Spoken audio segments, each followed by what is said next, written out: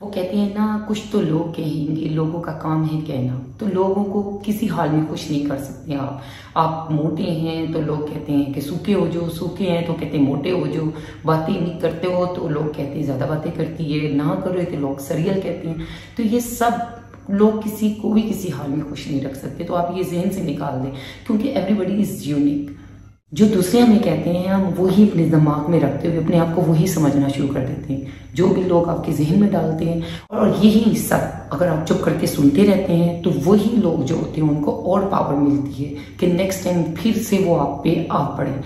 ये आप ही होते हैं जो आप अपनी ताकत जो होती है, अपनी पावर जो होती है, उनको देते हैं। इसमें ऐसा नहीं है कि आप वैसे ही हैं जैसे लोग कहते हैं। चाय की मिसाल ले लें, एक चाय नॉर्मल ढाबे से अगर आपको 40 या 50 रुपए की मिलती है तो वही चाय आपको चाय खाने में हज़ार, दो हज़ार, इससे किसी भी जगह में या किसी होटल में चले जाएँ, वहाँ चाय का रेट डिफरेंट होगा, ढाबे पे डिफरेंट होगा।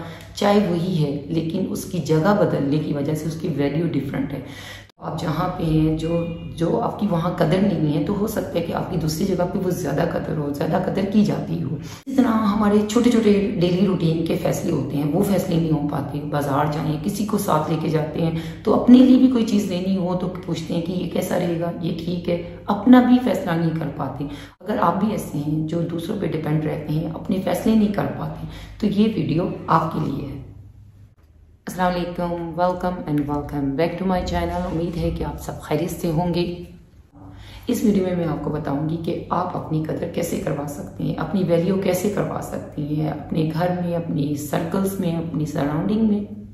सबसे पहले आ जाता है कि accept yourself as you are कि आप जैसे हैं ना, उसको एक्सेप्ट करें। आप ये मत सोचें कि दूसरे ने आपको ये कह दिया, आप दिल पे ले लें तो पास में आप कैसे थे उस पर रिग्रेट करते रहना और फ्यूचर की सोचते रहना। ये जो दो चीज़ें ना ये गलत हैं। आपको अभी रहना है। अभी जो आप है ना, उसको एक्सेप्ट करें अभी आप सोचें कि मैं पहले जब शादी से पहले मैं बड़ी स्मार्ट थी। मेरे इतने मुझे कपड़े आ जाते पुराने पुराने कपड़े आपने रखे हों और आप उसको देख देख के कहीं, मेरी कमड़ी इतनी थी, मेरा पेट नहीं निकला होता आप उसी सोच को जब सोचते हैं ना रिग्रेट करते हैं, आप इस से कंपनी में चले जाते हैं, फिर दूसरों को देखते हैं, अपने आप को देखते हैं तो आप अपनी जो इस वक्त की रियलिटी है ना, उसको एक्सेप्ट करें। ये प्रोसेस है, एक लाइफ का पैटर्न है। आप उस प्रोसेस से गुजरें, उसको एक्सेप्ट करें। इसके लिए सबसे बेहतर है, जैसे पुराने कपड़े हैं, आप उसको देख देख के सोचती हैं तो आप वो चीज़ें हटा दें। ठीक है, ये प्रोसेस है नॉर्मल है, शादी के बाद थोड़ा बहुत वेट वगैरह ऊपर नीचे हो जाता है। तो अगर आप में इतनी है विल पावर है तो आप ये करें कि उस वीकनेस को उसको अपनाएँ। आप एक्सरसाइज कर लें। आप अपना स्केड्यूल बनाने अपने आप को टारगेट दे दें कि मैंने ये करना है और मैं इस टारगेट को अचीव करूँगी। लेकिन वो टारगेट और गोल ऐसा होना चाहिए कि आप उसको अचीव कर सकें। ऐसे ही नहीं कि बहुत बड़े बड़े आप प्रॉमिस खुद से कर लें। क्योंकि आप खुद से प्रॉमिस करेंगी ना और वो टूट जाएँगे। तब ही, तब भी आप अपने आप को वीक समझेंगी और आप ना फिर एहसास कंपनी में चले जाएँगी। लो हो जाएँगी। जब आप लो हो जाती है ना तो लोग आप पे हावी हो जाते हैं। नेक्स्ट आ जाता है कि आप अपनी ओल्ड हैबिट्स बिलीव जो है ना आपके जहन में जो बचपन से डाल दी गई हो सकता है आपकी टीचर्स आप ने आपको कोई लेबल लगाया हो, आपकी टीचर आपको कोई लेबल से बुलाती हो, चाहे वो कोई नकमी या सुस्त का ही जो भी होता है। कोई लेबल लग जाता है। बचपन के बिलीव्स और हैबिट्स होते हैं ना, वो अक्सर हमारी माइंड में रह जाते हैं। हम उसी को ना आगे लाइफ में ना करते रहते हैं कि शायद हमसे ये नहीं हो सकता। आपकी कोई ख्वाहिश होती है या आप कुछ करना चाहते हैं, लेकिन आप ही की फ्रेंड्स या फैमिली में कोई आपको कहता है, तुम ये नहीं कर सकती। तो आप ना समझ लेते कि वाकई मैं नहीं कर सकती। आप दिखाएँ। आप उस बिलीफ को तोड़ें, उस चेन को तोड़ें कि मैं ये कर सकती हूँ, अपने आप में ये कहें ये है कि लोग आपको वही समझेंगे जो आप समझते हैं। अगर आप अपने आप को जैसा समझेंगे, लोग वैसे ही आपको रिसीव करेंगे। वही मिलता है जो आप ना अपने लिए गुमान रखते हैं। तो अपना गुमान हमेशा अच्छा रखें। You deserve what you desire ये सबसे बेस्ट मिसाल है। तो आप ऐसी डिज़ायर रखें कि आपको ये है। You are capable of this जिसमें आपकी कमी है, जैसे फॉर एग्ज़ाम्पल अगर आपकी शादी होती है नई नई शादी होती है, आपको कुछ पकाना नहीं आता तो लर्न अगर आप पे लेबल लग जाता है, इसको तो कुकिंग नहीं आती। और ये सुन सुन के अगर अक्सर आप खातन जो होती हैं ना, वो सासे कंपनी में आ जाती हैं, कि कम्प्लेक्स में आ जाती हैं लो हो जाती हैं, दूसरों की सुन रही होती हैं। सुन इसलिए रही होती हैं कि उनको खाना पकाना नहीं आता। दे नो कि ये इनकी वीकनेस है। तो अपनी वीकनेस को अपनी स्ट्रेंथ में बदलें। आप उसमें कुकिंग सीखें। आप वो उसको अपनी स्ट्रेंथ बनाएँ ताकि आप नेक्स्ट टाइम लो फील ना करें। इसकी एग्जांपल मैं अपने जॉब से दूँगी कि जैसे मैं कतर एयरवेज में केवन क्रू की जॉब कर रही थी तो मैंने जब ऑफलाइट ऑपरेशन में अपनी जॉब ट्रांसफ़र की तो मेरे लिए सबसे जो चैलेंजिंग था वो था कंप्यूटर जो कंप्यूटर का वर्क होता है एक्सल ये मैं इसमें मास्टर नहीं थी क्योंकि केवन क्रू की जॉब जी थी वो डिफरेंट थी और ग्राउंड की जॉब है वो टोटली डिफरेंट है। तो मुझे अक्सर लगता था कि जो मेरे कलीग्स हैं वो पाँच मिनट में जो काम कर लेते हैं मुझे वो दस मिनट लगते थे। तो मैंने ये नहीं सोचा कि मैं अगर मैंने मुझे कहा कि यू आर स्लो मैंने उससे सोचा वाकई आई एम स्लो मुझे कुछ सोचना चाहिए मुझे कुछ सीखना चाहिए। तो मैंने क्या किया मैंने वो जो उसके शॉर्ट कट्स होते हैं एक्सेल के वो सीखे और उसमें महारत हासिल की उसमें स्टडी की। मैंने वो उस, उनके जो एग्ज़ाम होते हैं वो पास किए। मैंने प्रूफ किया कि I am capable of this और मुझे मैनेजर ने प्रमोशन भी दी और उन्होंने मुझे शेयर किया, मुझे अप्रिसिएशन लेटर्स मिले उन्होंने कहा केविन करो की जॉब से आते हुए बैकग्राउंड इसका फ़्लाइट ऑपरेशन करनी है, लेकिन इसने ये किया। तो इससे मेरी क्या हुई? कदर हुई, मेरी वैल्यू हुई। मैं अगर यही सोच रही थी कि किसने मुझे तनकीद कर दी है कि ये स्लो है, ये केविन क्रू से रिलेटेड है, इस जॉब की कैपेबल नहीं है तो मैं क्या होती, मैं लो हो जाती, मैं वाकई उनकी बात को सच कर देती, लेकिन मैंने उनकी बात जहन में नहीं रखी। मैंने उनको नहीं सोचा, मैंने बल्कि खुद से कहा कि नहीं, मुझे ये, जो मेरी वीकनेस है, उसको खत्म करना ताकि दूसरों को कोई मौका ना मिले मुझ पर बात करने का।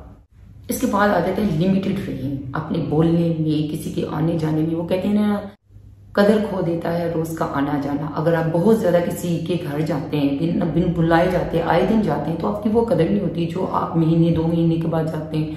इसी तरह कॉल्स करते हैं, होती, आपकी अक्सर फ्री होते हैं फारिग होते हैं, बच्चों से फ्री हो जाते हैं तो कहते हैं, चलो फलां को कॉल कर दें, फलां को कॉल कर दें। तो डेली भी किसी को कॉल नहीं करनी चाहिए। समटाइम आपको मैसेज आते हैं फ़ौरन रिप्लाई कर देते हैं कॉल आती है फ़ौरन कॉल्स कर देते हैं।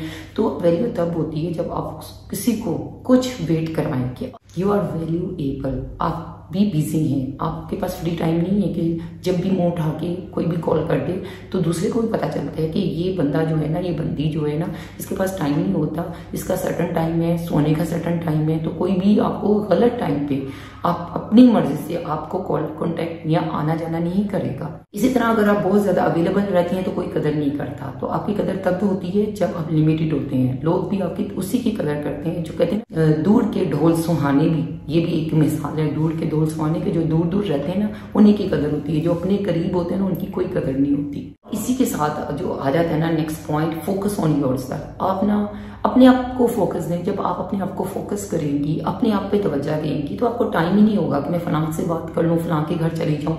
क्योंकि आप खुद को वैल्यू करेंगी। जब आप खुद को वैल्यू करेंगी ना, लोग भी आपको वैल्यू करेंगे।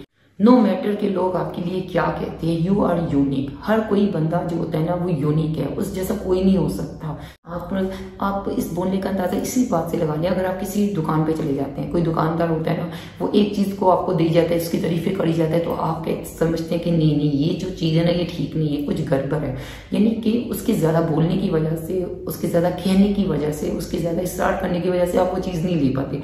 डाउटफुल हो जाते हैं या उसकी प्राइस लो कर देते हैं कि इतने में दे दो तो मैं ले लूँगी। क्या उसकी वैल्यू कम हो जाती है? उस, उसकी ज़्यादा बोलने की वजह से, ज़्यादा एक्सप्लेन इसी तरह इंसान की भी है हमारी भी ऐसी है। अगर हम बहुत ज़्यादा ओपन होंगे तो वो हम खुली किताब हो जाएँगे। लोग हमारे लिए सब कुछ जान जाएँगे। हमारे बारे में सब कुछ जान जाएँगे। तो खुली किताब नहीं होना। वो कहते हैं ना, मछली जब होती है ना, अपना मुँह खोलती है, तभी फंसती है। तो हम एज अ ह्यूमन बींग भी ऐसी हैं। ज़्यादा बोलेंगे ओपन बुक बन जाएँगे, सबको पता होगा। तो फिर वो सीक्रेट नहीं होगा। जो सीक्रेट चीज़ होती है ना, वो ना वैल्यू कर पाती है। जिसका हमें पता नहीं होता हमें बहुत वैल्यूएबल लगता है। हमें बहुत क्यूरियसिटी हो जाती है। उसका ना तजस्स हो जाता है। इसके बारे में पूछते हैं, ये क्या है?